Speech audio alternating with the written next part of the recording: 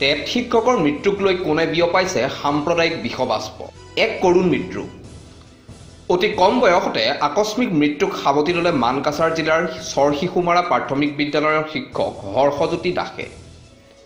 বাক্সা জিলাৰ পৰা আহি মানকাছাৰত শিক্ষকতা কৰা যুৱ শিক্ষকজনৰ মৃত্যুত শোকস্তব্ধ হৈছিল সকলো। কিন্তু এক দুষ্ট চক্ৰই শিক্ষকজনৰ মৃত্যুক পিন্ধালে সাম্প্ৰদায়িকতাৰ ৰহণ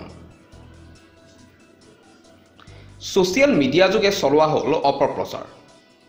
ইছলামধৰ্মী ভাড়াঘৰৰ মালিকৰ শাৰীৰিক মানসিক নিৰ্যাতনৰ বলি হৈ হৰ্ষজিতে মৃত্যুক সাৱটি লোৱা বুলি প্ৰচাৰ কৰা হ'ল উৰা বাতৰি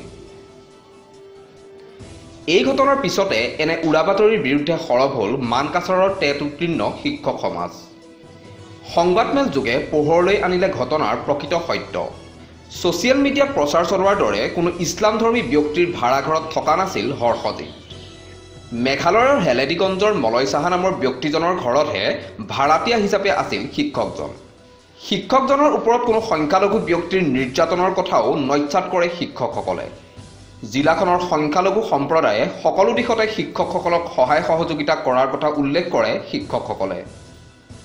আমি দক্ষিণ হালমৰা মানকাছৰ জিলাত কৰ্মৰত আমাৰ এই টেট শিক্ষকসকলে আমাৰ অতি মৰমৰ শিক্ষক হৰ্ষজিৎ দাসৰ যিটো অকাল বিয়োগ ঘটিলে সেই অকাল বিয়োগৰ সন্দৰ্ভত আমাৰ এটা সমাজ বিৰোধী চক্ৰই যি অপপ্ৰচাৰ চলাই আহিছে উৰা বাতৰি চলাই আহিছে সেই কোনো ধৰণৰ ভিত্তিহীন আৰু মনে সজা খবৰ তেওঁলোকে ছ'চিয়েল মিডিয়াত ইতিমধ্যে দিয়া আমি দেখিবলৈ পাইছোঁ আৰু সেইখিনি দেখা পাই আমি ইয়াত কৰ্মৰত টেট শিক্ষকসকলে সঁচাকৈয়ে বৰ মনত দুখ পাইছোঁ।